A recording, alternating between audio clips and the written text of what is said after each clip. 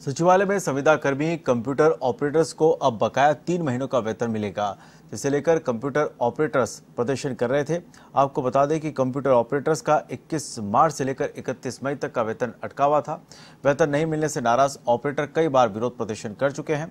Computer operator श्रम सचिव नीरज के पवन से भी मिले थे, जिन्होंने ऑपरेटर्स को वेतन दिलाने का भरोसा दिलाया था।